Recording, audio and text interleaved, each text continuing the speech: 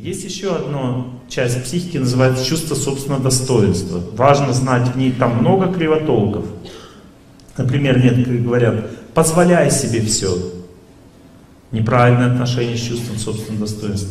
Или говорят, люби себя. Неправильное отношение с чувством собственного достоинства. Некоторые говорят, будь гордым. Неправильное отношение с чувством собственного достоинства. Да, мои хорошие, оказывается, не себя надо любить.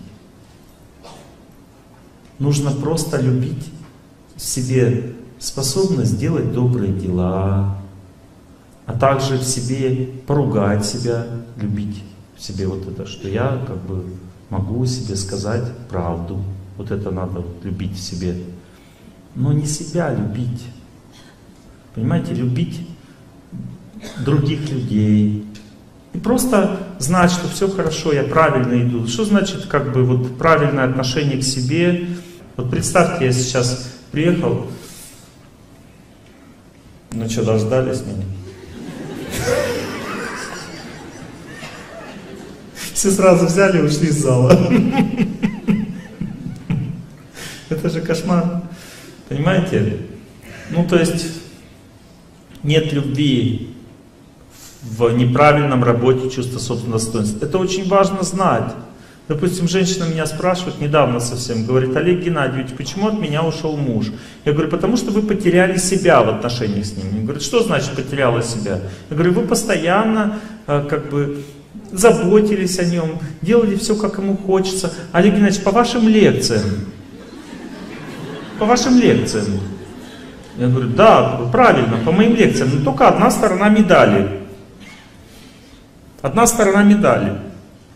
Как есть такая пословица древняя ведическая, что ну, один как бы глупый человек, он смотрит, что курицы, у него была ферма куриц, как бы, он смотрит, курицы несут яйца все время.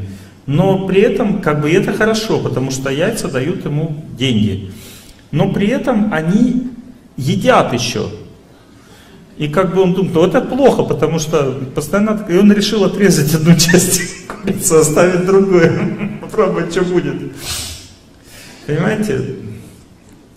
Ну, чтобы осталось только, чтобы не яйца, а они ели при этом. Это глупый человек, я говорю, такая глупая история. Чему я это все говорю? Потому что человек должен понять, что если он делает только одну часть, то тогда это получается глупость. Ну то есть если женщина не воспитывает мужа, а просто ему служит, значит тогда он уходит. Или просто воспитывает его, не служит, тогда он тоже уходит. Нужно делать и то, и другое. А вот это и есть правильная работа чувство собственного достоинства, это всегда и ходьба по лезвию бритвы. Потому что с одной стороны есть унижение, а с другой стороны гордость. А между ними есть истина и сила человеческая. Только когда у человека правильно работает чувство собственного достоинства, становится красивым. Гордая женщина красивая, гордая красивая, но недоступная. Может всю жизнь прожить одна. И она не может чувствовать любовь, гордая женщина. Униженная женщина некрасивая. Некрасивая. Вот унижена, унижена судьбой, некрасивая. Гордая, красивая, но никого нет рядом. А надо посередине, чтобы стало чувство собственного. И как его сделать посередине? Есть только один способ. Забыть про себя и начать служить другим. Заботиться о других. Это подвиг. Человеческий подвиг внутри. И если человек отвлекается от себя, то есть чувство собственного достоинства, это я. Пока я думаю о себе, а что, почему я думаю о себе? Потому что мне надо дышать, есть, у меня есть семья, у меня есть дети. То есть все в этой жизни заставляет меня думать о себе. Но если человек с помощью разума и знания отвлекается постоянно от себя и пытается заботиться о других, тогда его чувство собственного достоинства встает в правильную позицию. И это называется истинное эго, правильная позиция. А когда жизнь заставляет человека думать о себе, он в ложную позицию встает. называется ложное эго. Когда человек думает о себе и делает добрые дела, он становится гордым. А когда человек не делает ничего для других, он становится ленивым, допустим, понимаете? То есть это все деятельность эго. Но когда человек делает добрые дела и при этом не думает о себе, тогда его психика встает в правильную позицию. Он к себе хорошо относится? Хорошо, но об этом не думает. Не думает. Как только начинает об этом думать, сразу проблема. И эго человека, оно настолько хитрое. Вот, допустим, человек приходит к наставнику и говорит, учитель, я самый падший, я самый падший. Он говорит, ты не самый падший, ты просто падший и все. Видите, эго неправильно работает. Иди, делай что-то полезное, перестать думать о себе. Учитель ему говорит. Я самый падший. То есть он опять о себе. Некоторые люди говорят, Олег Геннадьевич, я, я, я. Я говорю, может вы о ком-то еще спросите? Да? Он говорит, мне так плохо, у меня я, у меня я, мне, мое. Вот. Человеку надо от себя отвлечься, и тогда ему хорошо станет. Потому что пока эго человека работает неправильно, счастья в жизни не будет. У нас плохая страна, у нас плохие люди, у нас все плохо. Это тоже эго неправильно работает. У вас все хорошо, у вас хорошие люди, у вас хорошая страна.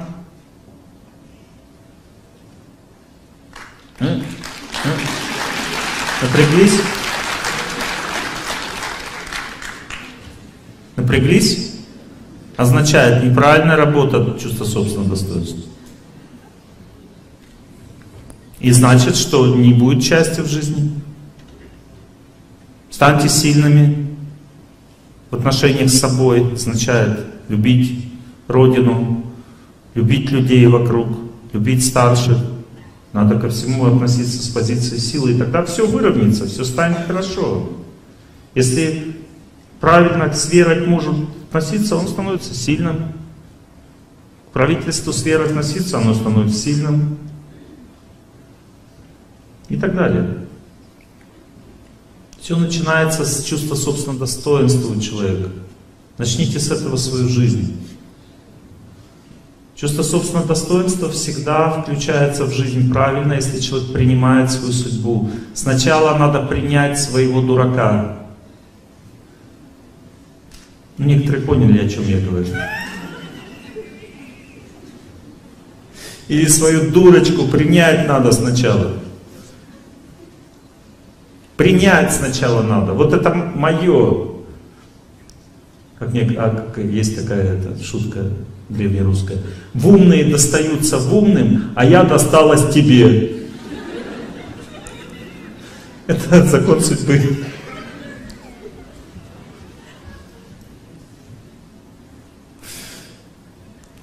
Многие не согласны, но ничего с этим не сделать.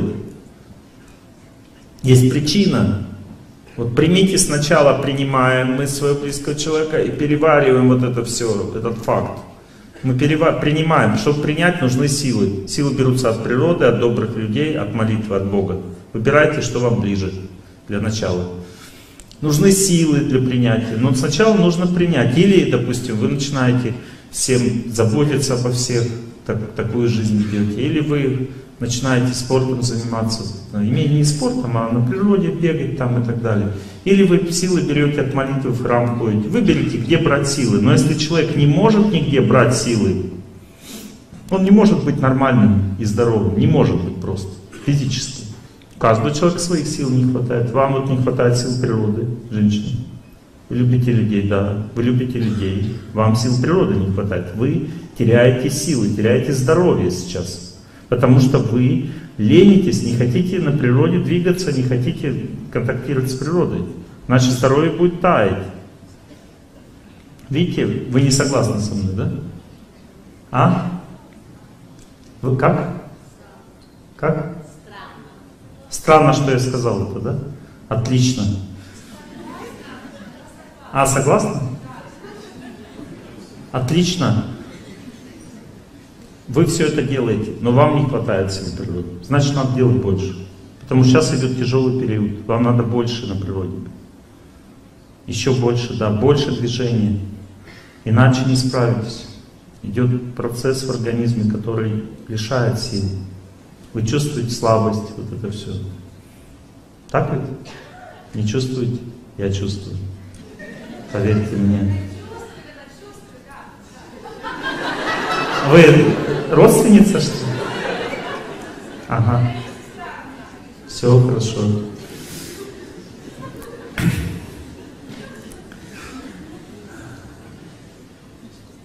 Итак, чувство собственного достоинства это очень важная вещь. Чтобы оно работало правильно, надо сначала все принять. Когда человек все принимает в жизни, это тяжело очень. Но когда человек все принял, с этого момента он совпал со своей судьбой, синхронизировался. И теперь он может правильно себя оценивать, все, что происходит. У него трезвое восприятие становится. Пока человек не принимает мужа, не трезвое восприятие. Он плохой, он мне не нравится, я не знаю, зачем из-за него замуж вышла, не трезвое восприятие. Приняла, все, теперь, теперь не он плохой, а я плохая. Теперь я начинаю работать над собой. Не то, что я плохая и все будут, я плохая, плохая. Нет. Один раз сказала, я плохая, десять раз делала что-то, чтобы быть хорошей. Правильно работать чувство собственного Один раз сказала, что я плохая, а потом десять раз исправила это. Это правильно. Извините, пожалуйста, что я вам это все сказал. Простите. Но вы потом поймете попозже, о чем речь. Я просто, ну, может быть, Бог вам помог таким образом. В организме идут процессы, которые требуют больше сил, нужно больше сил на природе, больше быть для того, чтобы жить. Жить.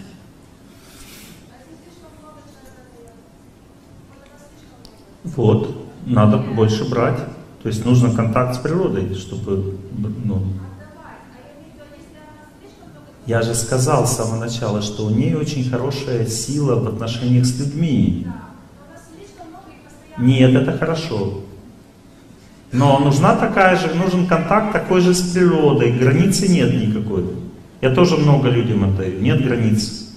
Просто нужен баланс. Вот если человек много отдает, ему нужно также много быть на природе, контакт с природой нужен. И с Богом контактировать много надо. Вот в этих трех вещах нужен баланс. Если только в людей уходить, то начинается истощение в организме.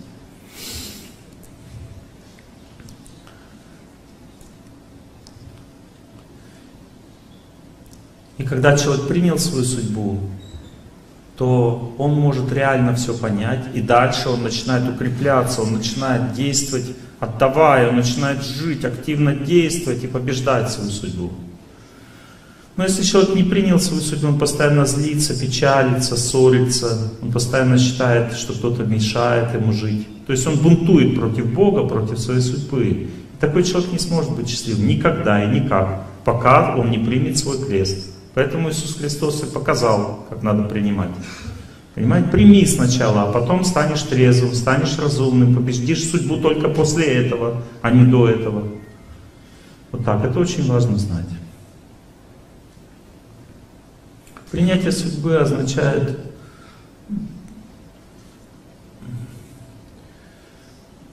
означает настроиться очень сильно по отношению к своей жизни. Нужно уметь учиться прощать, нужно отдавать себя в отношениях, нужно реально понять, что такое любовь. Часто мы любовь под любовью понимаем наслаждение. А мне вот, я, Олег Геннадьевич, зачем мне жить с этим человеком, если я не чувствую счастья в отношениях с ним? Он меня трогает, никакого результата.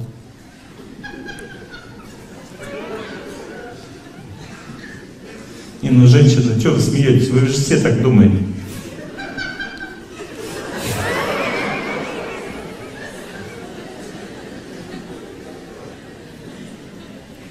Это из сердца не уберешь, эти мысли не уберешь. Но это не означает, что это и есть настоящая любовь. Это просто так, как хочется, понимаете, нам. А любовь настоящая, это другое. Это та сила, которая дает возможность жить вместе и быть счастливым по-настоящему. И об этом надо знать, и мы об этом будем говорить. А в целом, как бы, надо научиться жить сначала, жить правильно. Сейчас я вам объясню кое-что. Если женщина всегда имеет слово в семье и высказывает свое мнение, и мужчина очень серьезно прислушивается к нему, то он спасается от самой большой беды. Потому что жена является сердцем мужа. Женщина естественным образом предчувствует судьбу своего мужа. Представляете, так Бог сделал, что женщина знает судьбу своего мужа. Если она ему верна, вот условие, если она ему верна, то она чувствует его судьбу и всегда ему скажет то, что ему в жизни поможет. Но он всегда будет считать, что это не обязательно. Неважно. Приведу пример. Где-то месяцев шесть назад я почувствовал, что у меня в правом глазу началось какое-то напряжение, какие-то спазмы. Я думаю, так, надо то, все, начал как-то заниматься вопросом. И смотрю, это все усилится, потом мутнеет начало в правом глазу. И я понимаю, спазмы, да, вот мутнеет из-за спазмов. Но не придавал этому большого значения. Когда это все рассказал жене, она меня раз и к профессору глазному. Я думаю, да я сам профессор, что я туда пойду? Он ничего толком не скажет вообще. И пошел, потому что она настаивала. То есть я просто решил выполнить это правило. Ну, а вот жена хочет, чтобы я сходил, и я иду. Все. Мне сто лет это не надо. Я когда пришел к врачу, он говорит, на что вы жалуетесь? Я говорю, я ни на что. Жена жалуется на мое здоровье. Она села и начала рассказывать. Он говорит, слушай, вот так оно и есть в жизни. Мне так. Профессор уже знает. Он обнаружил у меня сильное повышение глазного давления и сказал, что если так будет продолжаться, еще несколько месяцев у вас будет отслойка сетчатки. Выписал мне капельки на всю жизнь. Сказал, всю жизнь будете капать капельки. Но так как я как бы другой врач, другого профиля, я просто нашел себе семена, которые влепил в уши, и они держат мне глазное давление постоянно, уже 5 месяцев ничего оно не повышается. Если у вас повышается, можете у нас полечиться в центре, мы вам точно так же сделаем. Ну, о чем это скрытая реклама? Вот о чем я хочу сказать, о том, что она спасла мне глаз, жена. Я врач сам, я сам знаю, что мне надо. Но она мне спасла глаз. И таких случаев в моей жизни было очень много. Ну просто потому, что я принимаю это правило, что когда жена говорит, надо слушать и принимать это все.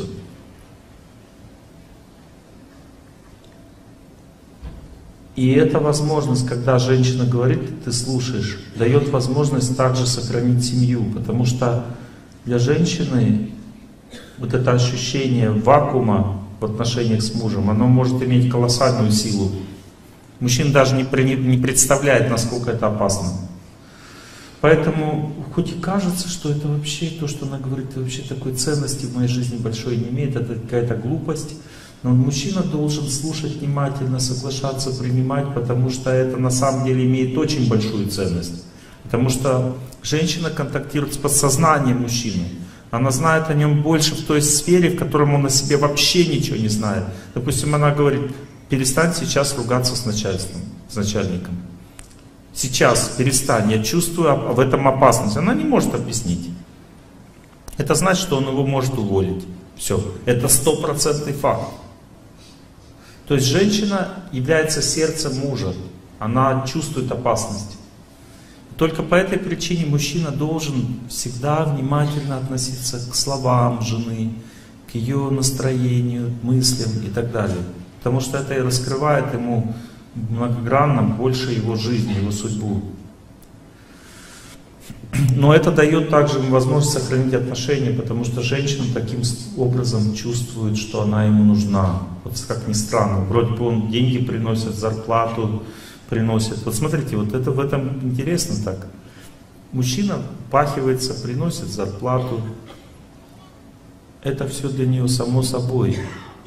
И денег всегда на самом деле мало. То есть он упахивается, а результат какой? Прямо противоположный. То есть она говорит, денег-то все равно же не хватает. И он, ну Господи, я упахался уже, а ей все не хватает. Мои хорошие, и не будет хватать. Точно так же, как вам надо лучше, чтобы готовила все время, больше улыбалась, вот, нежнее, ласковее и так далее, бесконечно, никогда не будет хватать. Точно так же никогда женщине не будет хватать вашей зарплаты. Это невозможно. И в этом вы не найдете защиты, хотя это надо делать. Защита в семье приходит к мужчине от одной простой вещи. Если он просто внимательно и заботливо относится к жене. Она что-то говорит, он внимательно слушает. Она как-то себя ведет, он пытается ее понять. И вот это для женщины такой ценностью большой является. Так она сильно благодарна за это, что она просто ради этого готова остаться с ним. Только просто ради этого. Я что-то правильно или неправильно говорю, женщина? Но у мужчины в психике нет этой опции. Он не знает, зачем вообще это все надо. Потому что вот эти близкие беседы о том, что у нас с детьми, как мы чувствуем друг друга, ему сто лет не нужны.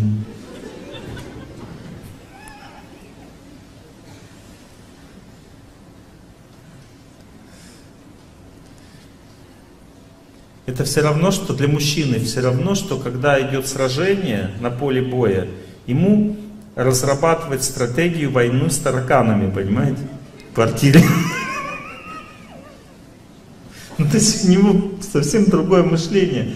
То есть для него это вообще другая вот э, область жизни, которая вообще как-то, ну, она вообще его не касается никак. Вот какие у нас с тобой отношения? Вот женщина спрашивает мужа, какие у нас с тобой отношения? Знаете, какие будут ответ какой? Женщина. Нормальные. Потому что он в этом вообще не разбирается. Это не его сфера жизни вообще. Женщина. И представляете, мужчина, который в этом не разбирается, не его сфера жизни, просто из-за того, что он имеет знания об этом, берет и начинает так себя с женщиной вести. И с этого начинается совместная семейная жизнь. Это называется уважение. Это очень мощная вещь. Теперь женщины вдохнули, выдохнули. Теперь про вас. Смотрите, мужчине очень ценно, что его воспринимают как героя как человека, который чего-то достиг в жизни серьезного. И кто должен воспринимать его таким? Жена. И когда мужчине такая поддержка идет от жены, несмотря на то, что она видит все его недостатки и не может их забыть. Вот мужчина видит недостатки жены тоже, но их забывает постоянно. И он постоянно удивляется, он когда какой-то недостаток у жены видит, он такой, да ты чё вообще? Он так удивляется, когда видит недостаток. Но он не знает, что женщина его недостатки все видит постоянно. И никогда о них не забывает. И когда он ей, да ты чё вообще говорит, она достает пулемет своей памяти такая. И ну прямо это, хронологически а ты тогда-то, тогда-то, все, все, все, я все нормально, я все понимаю. И вот эта женщина, которая видит все недостатки своего мужа, и так же, как с недостатки своего мужа, она также сильно видит хорошие качества соседа. Потому что женщина вообще всегда очень оптимистично относится к мужскому началу.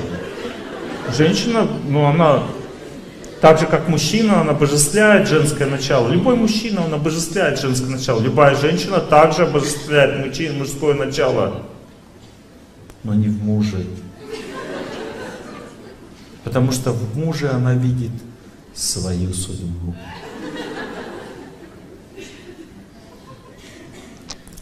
А вот сосед...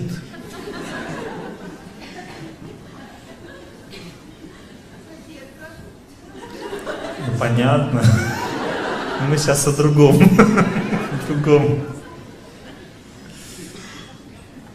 Смотрите, женщины, несмотря на все это, вам надо Просто потому, что у вас есть знание и понимание жизни, все равно говорить мужу, ты сможешь, у тебя все получится, я в тебя верю, ты у меня крепкий, сильный. Вот с этим мы справимся, и с этим тоже справимся. И постоянно вот на такой позиции быть, всегда. Вот точно так же, как мужчине, вот перед женщиной она... И он ля-ля, ля-ля. Это называется уважение к женщине. Мужчина, слышишь, да, она...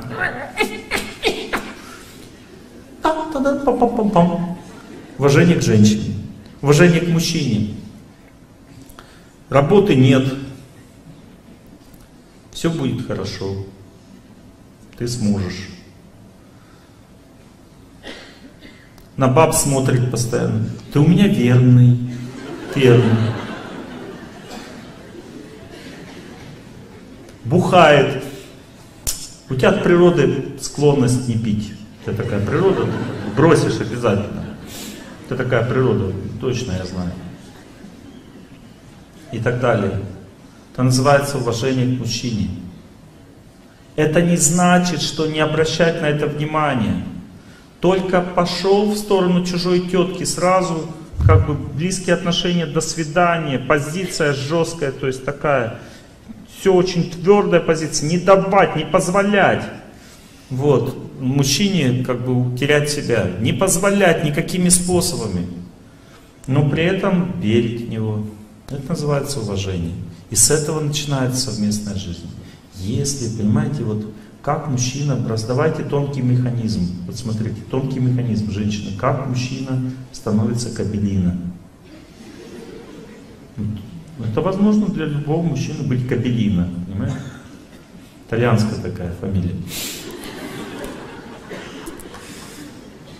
Вот. Как это возможно? Вот, он, вот смотрите, тонкий механизм. Мужчина смотрит женщине в глаза, и она в это время думает, я бы могла себе найти и получше. До свидания.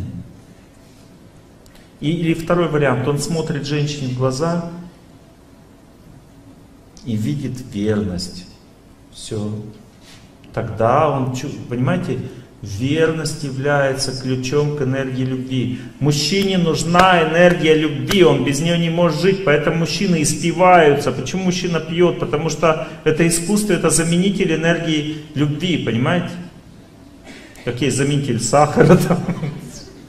Это заменитель энергии любви, спиртное.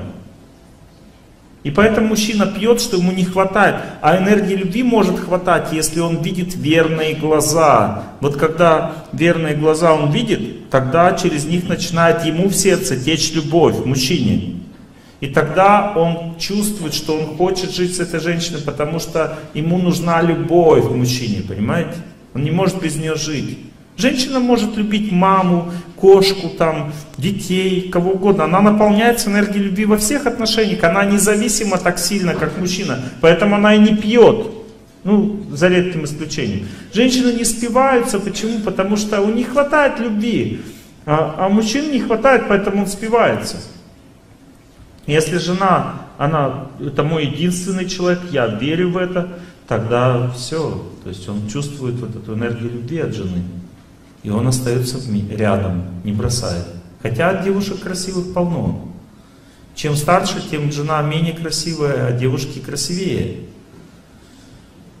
становится. Но он не бросает, потому что она для него дороже, то есть она верит в него, а кто еще будет верить? Я же не совершенный человек, он так думает.